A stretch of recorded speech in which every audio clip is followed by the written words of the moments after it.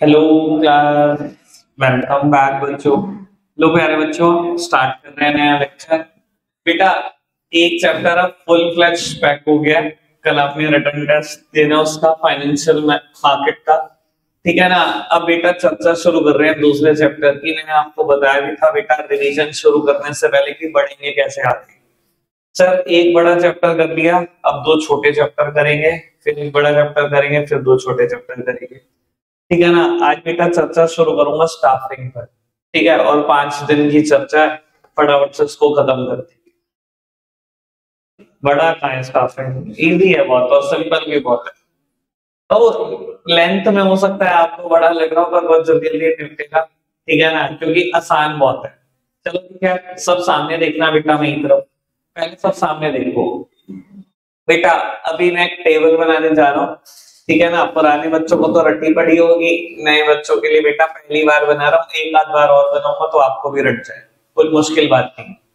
तो मैनेजमेंट के पाँच फ़ंक्शन है। क्या बोल दो मैंने अभी मैनेजमेंट ही नहीं बताया आज तक क्या लेकिन कोई नहीं हम टेंशन मत लो। बेटा मैनेजमेंट के पाँच फ़ंक्शन है जिसको प्यार से हम पोस्ट डीसी कहते हैं। ठीक है ना? कभी एक भी बार पूरे साल में स्कूल में बिज़नेस स्टडीज़ की क्लास अटेंड करी होगी तो इनके नाम ज़रूर सुनो। ठीक है ना? बेटा, नाम बताना जरा full form. Planning organising staffing directing and controlling बच्चे करेंगे यही तो आता है बस हमें। ठीक है ना?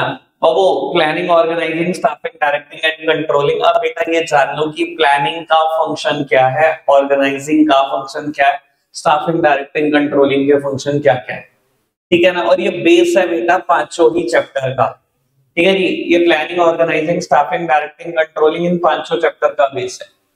तो वो सब सामने देखो, आकाश, एक सेकंड बॉस कर। बाबू सब सामने देख रहे हैं बेटा। मान लो बेटा ऑर्गेनाइजेशन का लास्ट फाइनेंशियल ईयर बीत चुका है बेटा। फाइनेंशियल ईयर इज़ 22 टू 23 और बेटा, मेरी ऑर्गेनाइजेशन ने बेटा 10 लाख यूनिट प्रोड्यूस भी कर दी और सेल भी कर दी है लास्ट ईयर ठीक है जी। आज बेटा ऑर्गेनाइजेशन में नए फाइनेंशियल ईयर की शुरुआत होने जा रही है। एक अप्रैल 2023 है और आज मेरी ऑर्गेनाइजेशन अपने लिए ऑब्जेक्टिव सोच रही है। बेटा प्लानिंग का काम सिर्फ़ एक है सेटिंग प्लानिंग सिर्फ़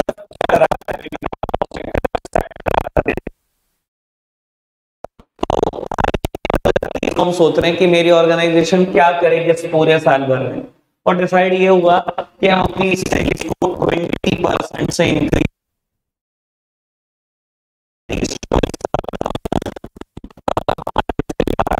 हो जानी चाहिए। हम इस सेल को 20 परसेंट से बढ़ाना चाहते हैं। ये ऑब्जेक्टिव सेट किए बेटा, ये भी बात ध्यान रखना हमेशा planning is always done for the future never done for the past बेटा, ये पास्ट के लिए आप ये नहीं कह सकते कि इक्कीस बाईस के लिए मेरा ऑब्जेक्टिव है। वो तो हो चुका बेटा जो बना था। या बाईस तेईस में जाके मैं कुछ कर दूँगा। सर, कुछ नहीं कर सकते ठीक है ना? Planning is always done never done for the past तो आप बेटा प्लान कर रहे हो अपने कमिंग फाइनेंशियल ईयर के लिए, आने वाले साल के लिए। प्लानिंग हो गई बेटा ऑर्गेनाइजिंग में क्या करते हो? बेटा ऑर्गेनाइजिंग में जैसे कि सारे ऑर्गेनाइज करते हो, बेटा सभी रिसोर्सेज को इकट्ठा करते हो, लेकिन बेटा ह्यूमन मैंने लिख दिया बेटा सारे रिसोर्सेज पर बेटा ये भी लिख दिया एक्सेप्ट ह्यूमन रिसोर्सेज मतलब एम्प्लॉय की टारगेट सेट किया, ये ऑब्जेक्टिव सेट किया, इस टारगेट को अचीव करने के लिए मुझे कुछ रिसोर्सेज की ज़रूरत पड़ेगी। शायद बेटा 12 lakh unit of raw material चाहिए होगा, शायद कुछ मशीनरी भी चाहिए होगी। तो बेटा अगर मशीनरी खरीदनी है या रॉ मटेरियल खरीदना है, सारे रिसोर्सेज ऑर्गेनाइजिंग नहीं होते। लेकिन बेटा एम्प्लॉइज की चर्चा यहाँ मत करना एम्प्लॉय की चर्चा प्लस एक और काम करते हैं ऑर्गेनाइजिंग ऑर्गेनाइजेशन को छोटे छोटे टुकड़ों में बांट देते हैं, जिसको बेटा डिपार्टमेंटलाइजेशन बोलते हैं। किसी को याद हो तो बेटा, अगर मैं स्पेसिफिकली बोलूँ तो फंक्शनल स्ट्रक्चर और डिविजनल स्ट्रक्चर शायद दिमाग में कुछ ना कुछ वर्ड घूम गया होगा। ठीक है ना? इससे ज़्यादा मैं कुछ नहीं बोल रहा, ताकि नए बच्चे पर खाना हो जाए। ठीक है जी? बेटा स्टाफिंग में क्या करते हैं? बेटा, ये टारगेट सेट किया है बारह लाख यूनिट ठीक है ना? दस लाख यूनिट पिछले साल प्रोड्यूस भी हुई है सेल भी हुई है। अब टारगेट है बारह लाख यूनिट हो सकता है मेरी ऑर्गेनाइजेशन में इतने एम्प्लॉइज हो जो बेटा दस, सवा दस या साढ़े दस दस लाख यूनिट तक बना सकते हो। क्योंकि बेटा देखो, दस लाख का तुमने टारगेट ही अचीव किया। हो सकता है बेटा कुछ एम्प्लॉइज एक्स्ट्रा हो जो सवा दस लाख यूनिट तक प्रोड्यूस कर सकते हो या साढ़े दस लाख यूनिट तक प्रोड्यूस कर सकते हैं। पर बेटा, ऐसा ज़रूरी नहीं है कि 12 लाख यूनिट को प्रोड्यूस करने के लिए और सेल करने के लिए एम्प्लॉय ऑर्गेनाइजेशन में होंगे। इतने स्टाफ एक्स्ट्रा कोई ऑर्गेनाइजेशन नहीं रखती। ठीक है ना? और उनको आइडल बिठा के, खाली बिठा के सैलरी कोई नहीं अफोर्ड करेगा तो बेटा, मुझे स्टाफ की भी ज़रूरत पड़ेगी जो टारगेट को प्रोड्यूस अगर एम्प्लॉइज की रिक्वायरमेंट आएगी तो एम्प्लॉइज की सारी की सारी चर्चा का लेक्चर इस पर है बेटा तो मैंने भी थोड़ी सी बात लिखी और बेटा मैं आगे बढ़ रहा हूँ। वापसी आऊँगा, इस पर ही आऊँगा अभी। ठीक है जी? मैंने सिर्फ़ एक ही वर्ड लिखा कि ह्यूमन रिसोर्सेज की चर्चा यहीं करेंगे ठीक है आ जाओ जी वापसी। बेटा डायरेक्टिंग तो डायरेक्टिंग में क्या होता है? यहाँ ऑब्जेक्टिव सेट हो गया। इस ऑब्जेक्टिव को अचीव करने के लिए रिसोर्सेज आ गए। कुछ में आ गए, कुछ स्टाफिंग में आ गए। ठीक है ना? यानी कि अगर मैं बड़ी सिंपल सी बात करूँ तो ऑर्गेनाइजिंग मतलब बेटा ह्यूमन रिसोर्सेस को छोड़ दो फ़िज़िकल और फाइनेंशियल रिसोर्सेस को इकट्ठा ऑर्गेनाइजिंग में किया जाता है। चाहे फाइनेंशियल रिसोर्सेस की बात कर लो, चाहे मेरे फ़िज़िकल रिसोर्सेस की बात कर लो। फ़िज़िकल रिसोर्सेस मतलब मेरी एफर्ट्स की बात कर तो सारी चर्चा ऑर्गेनाइजिंग में ठीक है जी? और इस टारगेट को अचीव करने के लिए जितने ह्यूमन रिसोर्सेस चाहिए, वो सभी चर्चा बेटा मेरी स्टाफिंग की ठीक है आगे बेटा डायरेक्टिंग में। अगर बेटा, अगर आप ढंग से उठाकर देखो तो यहाँ तक मैनेजमेंट में हुआ क्या? बेटा, सिर्फ़ ऑब्जेक्टिव सेट हुए, उस ऑब्जेक्टिव को अचीव करने के लिए रिसोर्सेज है और कुछ नहीं हुआ। ऐसा बोलते हैं बेटा, हम directing initiates action that means actual working starts with the directing only action start he directing से होता है। उससे पहले तो बेटा बस रिसोर्सेज इकट्ठे होते हैं। तो बाबू, यहाँ से आपने एक्चुअल वर्किंग स्टार्ट करी, यहाँ से बेटा आपने प्रोडक्शन स्टार्ट किया, यहाँ से आपने बेटा सेल स्टार्ट करी। ये डायरेक्ट है। ठीक है जी? बाबू, अब साल भर खत्म हो गया, आज साल का आखिरी दिन है बेटा, इकतीस मार्च 2024 है। मेरा करंट फाइनेंशियल ईयर बेटा तेईस चौबीस से था। बाबू, आज आपकी एक्चुअल परफॉर्मेंस कैलकुलेट होनी है, और मान लो बेटा एक्चुअल परफॉर्मेंस आई कि बेटा, ग्यारह लाख पचहत्तर हज़ार यूनिट बनी और ग्यारह लाख पचहत्तर हज़ार यूनिट बिक गई। ठीक है मैं एक्चुअल परफॉर्मेंस को कंपेयर करता हूँ बेटा विद स्टैंडर्ड्स स्टैंडर्ड्स मतलब वही टारगेट्स जो मैंने अपने लिए सेट किए थे एट द प्लानिंग स्टेज बेटा प्लानिंग स्टेज पे मैंने अपने लिए टारगेट सेट किया था कि मैं 12 लाख यूनिट बनाना और बेचना चाहता हूँ, जबकि बेटा एक्चुअली में साढ़े ग्यारह पौने बारह लाख यूनिट बनी और बिक गई है। क्या बेटा मैं टारगेट अचीव हुआ? नहीं हुआ। कुछ कमी रह गई? कमियाँ रह गई बेटा। वो कंट्रोलिंग का काम यही होता है कि ये एक्चुअल परफॉर्मेंस को स्टैंडर्ड के साथ कंपेयर कराती है और जो भी कमी रह जाती है बेटा, उस कमी को दूर करने के लिए करेक्टिव एक्शन में कंट्रोलिंग नहीं लेता। यानी कि बेटा, जो मेरी कमी रह गई, पच्चीस हज़ार यूनिट कम प्रोड्यूस हुई, पच्चीस हज़ार यूनिट कम बिकी। अगर बेटा, कोई भी कॉज ऑफ़ डेविएशन था, कोई भी, उसके खिलाफ आज ही एक्शन लेना है, अभी एक्शन लेना है कंट्रोलिंग में ही लेना बाबू, आपने क्या कह रहा पूरा मॉनिटरिंग करी, पूरा अच्छे से छानना कि बेटा, किसकी वजह से कमी रह गई, दिक्कत क्या है और मान लो बेटा, बाद में दिक्कत पता लगेगी मशीनरी ब्रेकडाउन हो गई थी। बार बार मशीनरी ब्रेकडाउन हो रही थी बार बार ये दिक्कत आ रही थी बार बार रिपेयरिंग मांग रही थी। बहुत परेशानी हुई आपको, जिसकी वजह से पच्चीस हज़ार यूनिट कम बनी है और उसी की वजह से पच्चीस हज़ार यूनिट कम बिकी है। बेटा, आपको कॉज ऑफ़ डेविएशन पता लग गया? आज ही एक्शन ले लो। क्योंकि बेटा, अगर आज आज अगर आपने अभी इस चीज़ के ऊपर एक्शन नहीं लिया तो ये कभी अगले साल में फिर पक्का आने लगी फिर कभी टारगेट अचीव नहीं होगा। ठीक है ना? कॉज ऑफ़ डेविएशन कुछ और भी हो सकता था। मान लो बेटा, मैं पहले यही बताता था कॉज ऑफ़ डेविएशन अगर मैं कहूँ कॉज ऑफ़ डेविएशन ये है बेटा कि सप्लायर जो है, उसने रॉ मटेरियल ही खराब भेजा पच्चीस हज़ार यूनिट का। बारह लाख यूनिट रॉ मटेरियल खरीदा था, ग्यारह लाख पचहत्तर हज़ार सही भेजा, वो बन भी गया, वो बिक भी गया। जो पच्चीस हज़ार यूनिट उसने खराब भेजे, वो ना बन पाए, ना बिक पाए। अगर अभी एक्शन नहीं लोगे तो क्या होगा? अगले साल फिर खरीदोगे, फिर खराब बेच देगा। और अगर आपने एक्शन ना लिया तो उसके हौसले और बुलंद हो जाएँगे। ये तो कुछ कहते ही नहीं। अगली बार पचास हज़ार खराब डाल लो पच्चीस क्यों डाल? लो समझ रहे ना बेटा? तो आज और अभी एक्शन लेंगे हम कंट्रोलिंग में बेटा। ठीक है ना? जो भी कॉज ऑफ़ डेविएशन निकलेगा। और बेटा, उसके बाद साल खत्म हो गया। अब बेटा, साल खत्म हुआ है। ऑर्गेनाइजेशन खत्म नहीं हुई। दोबारा आ जाओ प्लानिंग अब हम प्लान करेंगे बेटा चौबीस पच्चीस में क्या करें? ठीक है ना? बेटा, इस बात से कोई लेना देना नहीं है कि कमी आ रही है या नहीं आ रही है। ऐसा भी हो सकता है कि साल कमी ना आए। मेरा टारगेट है पंद्रह लाख यूनिट का, पंद्रह ही बन गई और बिक गई। तो एक्शन की ज़रूरत नहीं है। तो इससे क्या फ़र्क पड़ता है? एक्शन नहीं है। साल ही तो खत्म हुआ है। ऑर्गेनाइजेशन तो नहीं खत्म हुई। बेटा, दोबारा आ जाओ प्लानिंग पे। अब अगले साल के लिए प्लान करेंगे। ठीक है ये जो बेटा प्रोसेस है post D C continuous process है ऑन गोइंग प्रोसेस है नेवर एंडिंग प्रोसेस है।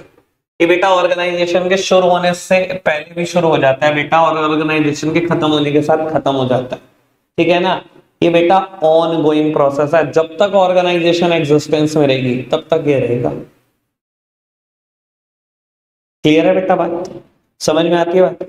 बेटा, ये इस हद तक कॉन्टिन्यूस है कि ऑर्गेनाइजेशन में कभी आप अगर जाओ तो बेटा आप कभी देख कर ये नहीं बता सकते कि प्लानिंग चल रही है ऑर्गेनाइजिंग चल रही है स्टाफिंग चल रही है डायरेक्टिंग चल रही है कंट्रोलिंग चल रही है। इतने कॉन्टिन्यूस है ये, सब कुछ साथ साथ चल रहा होता है। एक कैबिन है बेटा, जहाँ पर एचआर इंटरव्यू ले रहा है स्टाफिंग चल रही है। बेटा, लेकिन अगर आप प्रोडक्शन यूनिट पे जाओ तो प्रोडक्शन यूनिट में प्रोडक्शन भी नहीं रुक रहा। वहाँ प्रोडक्शन चली जा रहा है एक्चुअल वर्किंग चली जा रही है। उस एक्चुअल वर्किंग को एक सुपरवाइजर रोज सीसीटीवी कैमरा से बैठकर देख रहा है चेक कर रहा है मॉनिटरिंग भी साथ साथ चली जा रही है। प्लान करने वाले प्लान करी चल रहा है। रिसोर्सेस खरीदने वाले परचेज मैनेजर रोज कोटेशन मांग रहे हैं। इस हद तक कॉन्टिन्यूस होती है एक्टिविटी की। ऑर्गेनाइजेशन में कोई आँखें देख के नहीं बता सकता कि चल क्या रहा है। लेकिन काम सबका अलग अलग है, ये पता होना चाहिए आपको। है तो सभी कॉन्टिन्यूस सारा साल चलेंगे, सारे के सारे फ़ंक्शन सारा साल चलेंगे। क्लियर है बेटा बात? समझ में आती है बेटा? Planning organising staffing directing controlling का अलग अलग काम क्या है? ठीक है जी? बढ़ आगे। बेटा, चर्चा को शुरू करेंगे। स्टाफिंग से मैं बात को यहीं से आगे बढ़ाऊँगा। पहले मैं ये बता देता हूँ कि मैं टॉपिक कौन सा करा रहा हूँ। बेटा फ्रंट पेज पर हो, पर सीक्वेंस से नहीं हो। ठीक है ना? बेटा टॉपिक पढ़ने जा रहे हैं। Process of staffing process of staffing ठीक है जी? बिल्कुल स्टाफिंग के पहले पेज पर हो। लगभग page number forty two three के आसपास हो गए कहीं। फोर्टी सिक्स के आसपास है जी। लो जी, मेरी तरफ़ देखना बेटा। बाबू, मैं हमेशा ऐसा बोलता हूँ और ये बेटा नए बच्चों के लिए भी एक बार बोल देता हूँ। बेटा, ये कोई ना आप एडवांटेज डिसएडवांटेज नहीं लिखने जा रहे हो। अगर ये टॉपिक आ रहा है ना प्रोसेस तो इसका मतलब भी समझो इसके मायने अलग है। ये कोई एडवांटेज डिसएडवांटेज तो है नहीं कि भाई साहब मैं हेडिंग याद करके गया।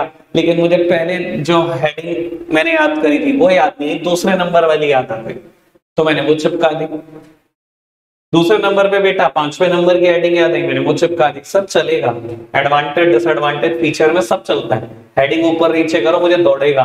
प्रोसेस है बेटा, लेकिन प्रोसेस का मतलब होता है बेटा क्रोनोलॉजिकल सीक्वेंस ठीक है ना?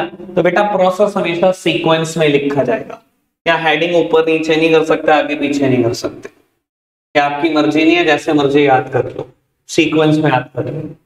ठीक है जी? बल्कि मैं तो मतलब इंजीनियरिंग का फंडा तो ये रहा है, मैं तो एडवांटेज डिसएडवांटेज की हेडिंग भी ऊपर नीचे नहीं करता। ठीक है ना? समझाते हुए कर देता लेकिन अब याद करता था तो बेटा बिल्कुल सीक्वेंस में करता था। ठीक है ना? पर मैं ये नहीं कह रहा हूँ कि आपके लिए कोई ऐसी रेस्ट्रिक्शन है, वो आप देखो। जितना आसान तरीके से आप कर सकते हो, उतना आसान तरीके से कर।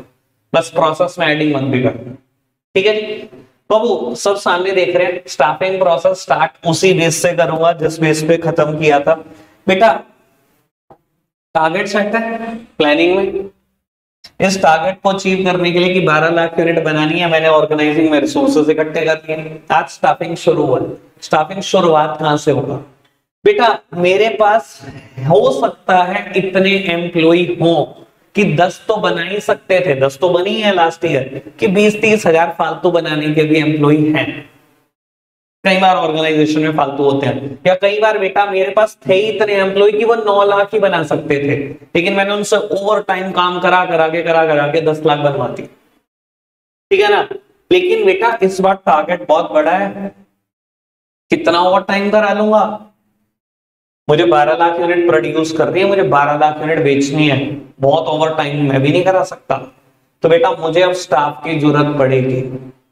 जो इस टारगेट को प्रोड्यूस करे, इसकी मार्केटिंग इतनी अच्छे से करे, इसकी सेल्स इतने अच्छे से करे कि टारगेट पूरा हो जाए ठीक है ना जी? तो बेटा स्टाफिंग यहीं से शुरू होता है। बेटा, पहली हेडिंग आती है estimating manpower requirement estimating manpower requirement लोग उत्तर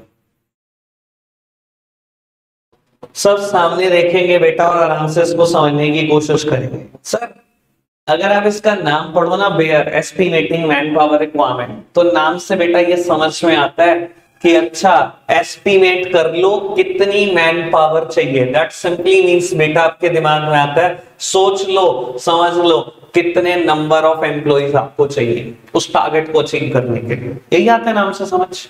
एस्टिमेट कर लो मैन पावर रिक्वायरमेंट कितनी है। है ना? मतलब उस 12 लाख यूनिट के टारगेट को अचीव करने के लिए कितने एम्प्लॉय चाहिए, आज ही एसरटेन कर लो। ठीक है ना? लेकिन मैं आपको बता देता हूँ बेटा, ये पर्टिकुलर स्टेप सिर्फ़ एक बात से रिलेट नहीं करता। सिर्फ़ ये नंबर ऑफ़ एम्प्लॉय की बात नहीं करता, ये दो बातों से रिलेट करता है। Number of employ as well as the type of employ ये इन दोनों बातों से रिलेट करता है। ये कहता है, सोच लो कितने नंबर ऑफ़ एम्प्लॉय चाहिए, लेकिन साथ ही साथ ये भी सोच लो किस टाइप का एम्प्लॉय चाहिए। बेटा what you mean by type चलो नंबर की बात तो मैं अभी करूँगा what you mean by the type बेटा मान लो, अगर मेरे नंबर ऑफ़ एम्प्लॉय मुझे 400 चाहिए, ठीक है? तो बेटा मुझे ये भी सोचना पड़ेगा, इन 400 में से कितने प्रोडक्शन में चाहिए? कितने मार्केटिंग में चाहिए? कितने सेल्स में चाहिए? या सबसे प्रोडक्शन ही कराओगे? सर, कुछ तो मार्केटिंग करेंगे, तभी तो बिकेगा प्रोडक्ट फालतू। कुछ तो सेल्स में भी जाएँगे ही। हो सकता है दो चार फाइनेंसेस में भी चाहिए हो। हो सकता है, बेटा, एक आध ह्यूमन रिसोर्स डिपार्टमेंट में भी चाहिए हो। तो बेटा टाइप का मतलब होता है कि मुझे एम्प्लॉय किस क्वालिफिकेशन के साथ चाहिए, क्या नेचर ऑफ़ जॉब में उससे परफॉर्म कराने वाला हूँ, किस एक्सपीरियंस के साथ चाहिए, उसका बैकग्राउंड कैसा होना चाहिए। ये कुछ बातें जो मुझे सोचनी पड़ती समझ में आ रही है बेटा बात? कोई दिक्कत तो नहीं? टाइप का मतलब क्या बेटा? एम्प्लॉय किस एजुकेशनल क्वालिफिकेशन के साथ चाहिए? बेटा, ये भी सोच लेना। बस ये थोड़ी है 400 एम्प्लॉय चाहिए। मतलब कोई भी आ जाए उठ के। कोई भी चलेगा क्या आपको? ऐसे तो नहीं हो सकता ऑर्गेनाइजेशन में कोई भी एम्प्लॉय चलेगा। तो बेटा 400 चाहिए। ये भी तो सोच लो कितनी एजुकेशन कितना एक्सपीरियंस कैसा बैकग्राउंड क्या नेचर ऑफ़ जॉब परफॉर्म करानी है। ये सब सोच लो बेटा। क्लियर है बेटा बात? समझ में आती है बात? पक्का से? और बेटा, जब आप टाइप ऑफ़ एम्प्लॉय की बात करते हो ना तो कहीं ना कहीं ऑर्गेनाइजेशन की पॉलिसी भी टाइप ऑफ़ एम्प्लॉय के आड़े आई जाती है। कई बार बेटा ऑर्गेनाइजेशन की पॉलिसी ऐसी होती है कि मैं 10 परसेंट जॉब वुमेन्स को दूँगा। या मैं 15 परसेंट, बीस परसेंट जॉब माइनॉरिटी को दूँगा। ठीक है ना? या इस कास्ट को दूँगा, जो भी डिसाइड करते हैं, जैसे भी उनकी पॉलिसी होती है, या डिसेबल लोगों को दूँगा। तो बेटा, अगर आपकी पॉलिसी ऐसी कुछ फ्रेम हुई भी है तो वो भी कंसीडर कर लेना टाइप ऑफ़ एम्प्लॉय क्लियर है बेटा जो बात बोल रहा हूँ, समझ में आ रही है सारी पक्का से? तो बेटा, फिर नंबर ऑफ़ एम्प्लॉय की कहानी, ये कैसे कैलकुलेट होंगे नंबर ऑफ़ एम्प्लॉय बेटा, जब हम नंबर ऑफ़ एम्प्लॉय कैलकुलेट करते हैं तो इसके लिए हम दो एनालिसिस परफॉर्म करते हैं। First one is workload analysis workload analysis. And second one is workforce analysis. लो उत्तर आराम से समझ लो इन दोनों की चर्चा। बेटा वर्कलोड एनालिसिस सबसे पहले हम परफॉर्म करते हैं। वर्कलोड एनालिसिस क्या बताता है? बेटा वर्कलोड एनालिसिस ये बताता है कि 12 लाख यूनिट बनाने के लिए मतलब जो आपका टारगेट है, उस टारगेट को बनाने के लिए और बेचने के लिए कितने एम्प्लॉइज रिक्वायर्ड होंगे इन टोटल ठीक है? वर्कलोड एनालिसिस क्या बताता है बेटा? Total number of employ required to accomplish your objective ठीक है ना? कितने total number of employ required होंगे बेटा? आपके ऑब्जेक्टिव को अचीव करने के लिए। लेट सपोज़ की बेटा, मैंने वर्कलोड एनालिसिस परफॉर्म किया और ये कहता है कि 1500 एम्प्लॉय चाहिए। ठीक है जी? कोई दिक्कत तो नहीं? बेटा वर्क फोर्स एनालिसिस ये क्या बताता है? बेटा वर्क फोर्स एनालिसिस ये बताता है कि ऑर्गेनाइजेशन में एग्जिस्टिंगली कितने लोग अभी काम कर रहे हैं and how much of them are overburden और अंडरबर्डन कि अभी कितने काम कर रहे हैं एग्जिस्टिंगली कितने काम कर रहे हैं? ये तो ये बताता है बेटा total number of employ required to complete your objective workforce analysis बताता है कि एग्जिस्टिंगली अभी ऑर्गेनाइजेशन में कितने काम कर रहे हैं, कितने ओवर या अंडर बर्डन है। ठीक है ना जी? और बेटा, हमने देखा, हमारा वर्कफोर्स एनालिसिस कहता है कि 1100 एम्प्लॉय काम करते हैं, जिसमें से 100 बहुत बुरी तरीके से ओवर बर्डन है। डबल शिफ्ट काम कर रहे हैं। तब जाके वो 10 लाख मिनट बना पा रहे ठीक है जी? तो बेटा, इनका डिफरेंस ही होता है कि कितने नंबर ऑफ़ एम्प्लॉय मुझे चाहिए।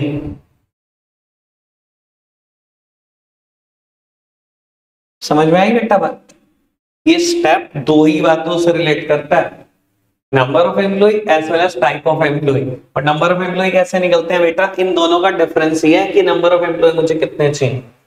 टोटल 1500 चाहिए। टारगेट अचीव करने के लिए अभी मेरे पास 1100 है। तो 400 और आएँगे। ठीक है जी? 400 और आ गए। बेटा किस किस क्वालिफिकेशन के चाहिए 400 में से? उनका बायोफिकेशन क्या है? कितनी एजुकेशन क्वालिफिकेशन कितना एक्सपीरियंस कितने फ्रेशर ठीक है ना? और साथ साथ मेरी पॉलिसी डिसेबल कितने? वुमेन्स कितने? माइनॉरिटीज कितनी? सब सोच लो, समझ लो बेटा। उसके हिसाब से बेटा सब कुछ तय होगा। कोई दिक्कत तो नहीं? अब ये तय हो गया जी 400 एम्प्लॉय चाहिए डिफरेंट डिफरेंट डिपार्टमेंट में चाहिए। मान लो बेटा 300 चाहिए मुझे प्रोडक्शन में 50 चाहिए मार्केटिंग में 50 चाहिए सेल्स में। मैंने ऐसा तय कर लिया। ठीक है जी? और 300 में से भी बेटा जो प्रोडक्शन में चाहिए, मुझे बस 50 चाहिए एक्सपीरियंस जिनके पास एक, दो साल का एक्सपीरियंस हो। बाकी मुझे सब फ्रेशर दौड़ेंगे डेढ़ सौ। ठीक है जी? ऐसा तय हो गया। ठीक है जी? फ़र्स्ट स्टेप पे इतना होगी कहानी। कोई दिक्कत तो नहीं अभी तक? पढ़ाई बात को आगे। चलो। बेटा, आज ऐसा हो सकता है, अभी शुरू में चैप्टर धीरे चले, क्योंकि अभी चैप्टर का बेस ही बन रहा है, अभी तो आप जान ही रहे हो चैप्टर में क्या क्या है। उसका भागता चला जाता है चैप्टर बहुत इजी है, बहुत ज़्यादा इजी ठीक है जी? कोई टेंशन नहीं लेनी है बेटा, बड़ा इजीली कोर्स खत्म होगा आपका। कोई नहीं, अगर वैसे भी एक आध चैप्टर रह भी गया तो क्या फ़र्क पड़ता? तुम भी तो दानी पुत्र हो तुम भी दो चार नंबर, तुम कहा देखते हो? इतने तो दान कराते हो तुम। चलो, लो। बेटा, हम चर्चा करते हैं सेकंड और थर्ड स्टेप पे। Second step is recruitment and third step is selection ठीक है ना? बेटा, जब भी ये पेपर में आते हैं, कभी भी अपने ऐसे नाम से नहीं आते। रिक्रूटमेंट का एक दूसरा नाम है बेटा, हम इसे बोलते हैं positive step in the staffing process and selection इसको बेटा बोलते हैं negative step in the staffing process it is a positive step it is a negative step बेटा ऐसा क्यों इनके नाम रखे गए ये भी समझने की ज़रूरत है।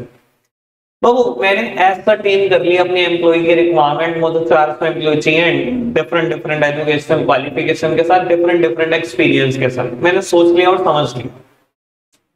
बेटा, जब मुझे 400 एम्प्लॉय चाहिए ना तो मैं क्या करता हूँ? कोई भी ऑर्गेनाइजेशन क्या करती है? रिक्रूटमेंट के टाइम पर, बेटा वो चाहती है कि वो ज़्यादा से ज़्यादा कैंडिडेट को अप्रोच करे। वो बेटा ज़्यादा से ज़्यादा कैंडिडेट को मोटिवेट कर, ज़्यादा से ज़्यादा दुनिया उनके ऑर्गेनाइजेशन में जॉब के लिए अप्लाई करे। ठीक है ना? इस वैकेंसी को ना मेरी ऑर्गेनाइजेशन वाइडली एडवर्टाइज करना चाहिए वाइडली एडवर्टाइज जहाँ जहाँ वो कर सकती है। क्योंकि बेटा रिक्रूटमेंट के टाइम पर मैं यही चाहता हूँ कि ज़्यादा से ज़्यादा दुनिया अप्लाई करे। क्योंकि बेटा, जितनी ज़्यादा दुनिया अप्लाई करेगी, उतने ज़्यादा सुटेबल चांसेस है, उतने ज़्यादा चांसेस है मुझे एक सुटेबल कैंडिडेट मिलेगा। आपको सोचो, मुझे 400 ही एम्प्लॉय चाहिए और चाहिए और 400 नहीं ही अप्लाई करा। बेटा, उसे समझौता कहते हैं। वहाँ आपको कैंडिडेट नहीं मिलेगा, वहाँ समझौता होगा। यही सोचो, बेट, मेरी ऑर्गेनाइजेशन है बेटा। एक स्कूल है। मुझे टीचर चाहिए फिजिक्स पढ़ाने के लिए। और एक ही टीचर ने अप्लाई करा। तो बेटा मैं सिलेक्शन नहीं कर रहा हूँ उसका, मैं समझौता कर रहा हूँ। ठीक है ना? तो बेटा आपको कभी भी कोई वैकेंसी निकलती है ऑर्गेनाइजेशन के अंदर। आप चाहते हो मैं उसको जहाँ जहाँ गा सकता हूँ, हर जगह बता दूँ। सबको मोटिवेट कर दो, मेरे ऑर्गेनाइजेशन में जॉब के लिए अप्लाई करो। क्योंकि जितने ज़्यादा लोग आएँगे उतने ही आपके चांसेस हाई होंगे कि आपको एक बड़ा कॉम्पिटेटिव स्टाफ मिलने वाला है। आप सोचो, मेरे ऑर्गेनाइजेशन में एक वैकेंसी है, मैंने इतना एडवर्टाइज करा, बेटा 500 लोगों ने अप्लाई किया। अब आप खुद सोचो बेटा, जो एक आदमी इन 500 में से सेलेक्ट होगा, वो कितना कॉम्पिटेटिव रहा होगा। समझ रहे हो ना इस चीज़ को? तो बेटा रिक्रूटमेंट इसलिए पॉजिटिव स्टेप है, क्योंकि यहाँ आप चाहते हो सारी दुनिया ही आज से अप्लाई करने के लिए, कोई दिक्कत नहीं है। सब आ जाओ, जो जो आ सकता है। जिसके पास भी वो रिक्वायर्ड क्वालिफिकेशन रिक्वायर्ड एक्सपीरियंस है जो मुझे चाहिए, सब आ जाओ। क्या पूरी दुनिया हो उसमें? ठीक है ना? Why's selection is regarded as negative step क्योंकि बेटा, ज़्यादातर क्योंकि इंडिया जैसा देश में आप देखो, जहाँ इतना अनएम्प्लॉयमेंट है, जहाँ एक जॉब के पीछे इतनी मारा मारी है, दस दस लाख लोग खड़े हो जाते हैं एक एक जॉब के पीछे। वहाँ बेटा नंबर ऑफ़ सिलेक्टेड कैंडिडेट हमेशा ही कम होते हैं। नंबर ऑफ़ रिजेक्टेड कैंडिडेट हमेशा ही ज़्यादा होते हैं। एक जॉब के लिए 200 लोगों ने अप्लाई करा। ठीक है जी? अप्लाई करते टाइम तो हम कहते हैं, सारी दुनिया आ जाओ। 200 ने अप्लाई करा। अब मुझे बताओ सेलेक्ट कितने होंगे? एक रिजेक्ट कितने होंगे? 199 नंबर ऑफ़ रिजेक्टेड कैंडिडेट हमेशा ही ज़्यादा होते हैं नंबर ऑफ़ सिलेक्टेड कैंडिडेट से। That's why selection is regarded as the negative step in the staffing process फिर सिलेक्शन का क्राइटेरिया क्या होता है? What are the basis of selection बेटा, जितने भी लोगों ने अप्लाई करा है, इन सबका हम कुछ ना कुछ selection test employment test conduct करेंगे। अभी जो बच्चे एम्प्लॉयमेंट टेस्ट के बारे में नहीं जाते घबराऊँगी। ठीक है ना? एक आध का नाम बोल देता हूँ, आपने सुना होगा एफ़ टेस्ट आईक्यू टेस्ट करेंगे इन सबके टेस्ट कंडक्ट करेंगे, इनका इंटरव्यू लेंगे सबका। और बेटा उस इंटरव्यू टेस्ट के बेसिस पे हम डिसाइड करेंगे कि कौन कैपेबल है बेटा इस जॉब के लिए। समझ में आ रही बेटा बात? सिलेक्शन कैसे होगा? कैसे ये पॉजिटिव स्टेप कैसे ये नेगेटिव स्टेप कोई दिक्कत तो नहीं? बढ़ जाए आगे 400 लोगों को जॉब देनी थी, मान लो दे दी बेटा। यहाँ सिलेक्शन कर दिया मैंने ठीक है जी? बढ़ाए बात को आगे। बेटा fourth step is placement and orientation fourth step is placement and orientation बाबू वर्ड बीच में जो है वो एंड है। एंड है मतलब बेटा, इन दोनों वर्ड के मतलब बिल्कुल अलग अलग है। ठीक है? बेटा प्लेसमेंट का मतलब क्या होता है? Employ occupy the job position for which he or she is selected is known as placement बेटा एम्प्लॉय को आपने जिस जॉब पोजीशन के लिए सोचा था बेटा एम्प्लॉय जिस दिन वो अपनी जॉब पोजीशन को ऑक्यूपाई कर लेता है, जिस दिन अपनी सीट पर, अपने कैबिन में जाके बैठ जाता है, वो प्लेसमेंट हो गई सिंपल सी बात।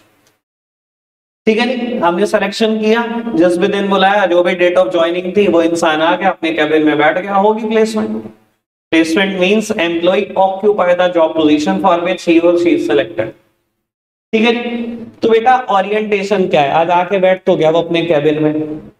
बेटा ओरिएंटेशन का सिंपल मतलब होता है फैमिलियर करना। बेटा, वो जो नया एम्प्लॉय है, वो जो 400 लोग नए आए हैं, मेरी ऑर्गेनाइजेशन के बारे में जानते क्या है? कुछ भी तो नहीं जानते।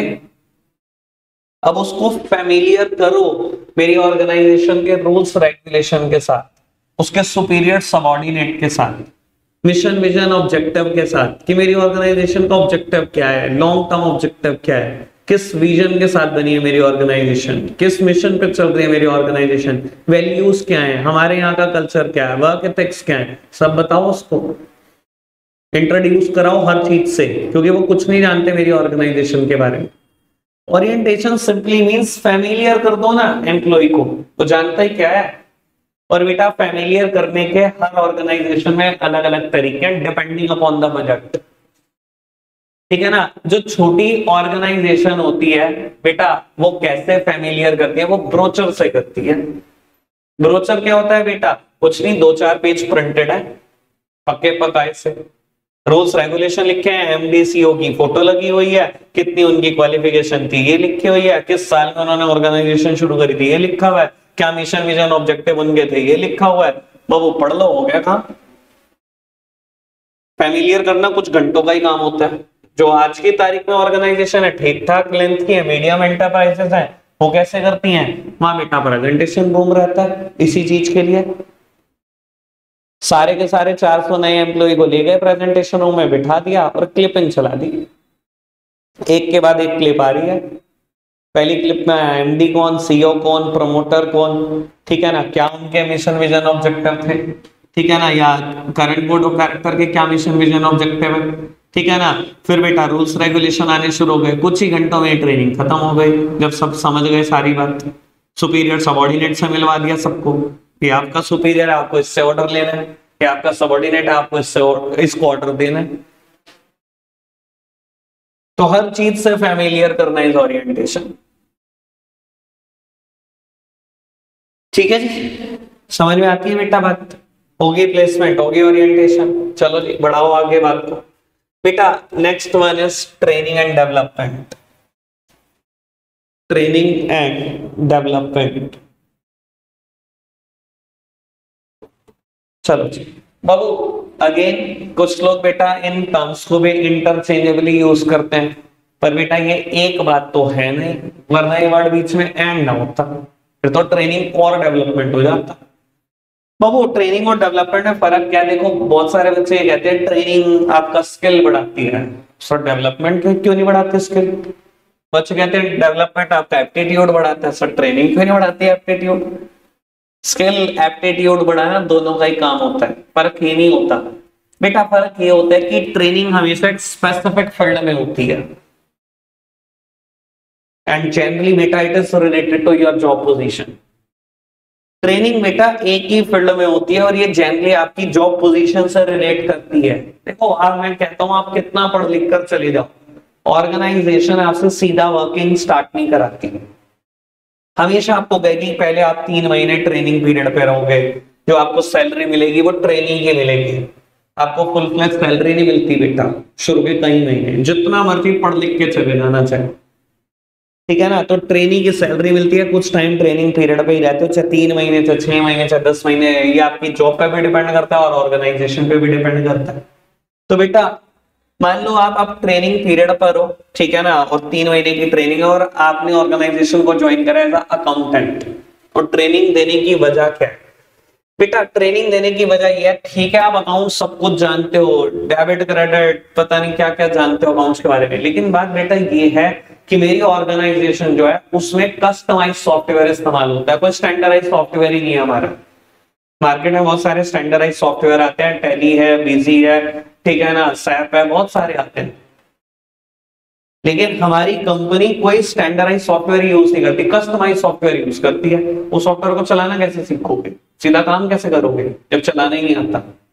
तो आपकी ट्रेनिंग पीरियड पे रखा गया आपको कि अब आपको सिखाएँगे। ये सॉफ्टवेयर सिखाएँगे चलाना। ठीक है ना? अब बेटा, ये ट्रेनिंग ही है। क्यों? It is related to your job position training एक ही फ़ील्ड में होती है और वो एक फ़ील्ड बेटा आपकी जॉब से रिलेट करती होती है। एंड डेवलपमेंट डेवलपमेंट बेटा इंसान की ओवरऑल होती है in all respect and it may or may not be related to your job position इसका जॉब से कोई लेना देना भी नहीं होता और कभी कभी हो भी सकता है। लेकिन ये ओवरऑल रिस्पेक्ट में होती है बेटा। ठीक है ना? जैसे कि बेटा, आप हो तो अकाउंटेंट मेरी ऑर्गेनाइजेशन ने सबके लिए इंग्लिश स्पोकन प्रोग्राम ऑर्गेनाइज करा, सभी एम्प्लॉइज के लिए। सर, आपकी ओवरऑल डेवलपमेंट के लिए ठीक है ना? ये आपकी जॉब से रिलेट नहीं करता, आप हिंदी में बोलोगे में चलेगा। क्लियर है बेटा बात? क्या पर्सनालिटी डेवलपमेंट प्रोग्राम या soft skill training program organize किया आपके लिए। It may not be related to your job position ये आपकी ओवरऑल डेवलपमेंट के लिए। तो बेटा स्किल ये भी इंप्रूव करता है स्किल ये भी इंप्रूव करता है। स्किल का कोई डिफरेंस नहीं है। ट्रेनिंग एक ही फ़ील्ड में होती है and it is related to your job position development एक फ़ील्ड में नहीं होती, ये ओवरऑल होती है in all respect it may or may not be related to your job position कोई दिक्कत तो नहीं बेटा? पाँच स्टेप समझ में आए? आज के लिए इतना ही रखते हैं प्यारे बच्चों। बाय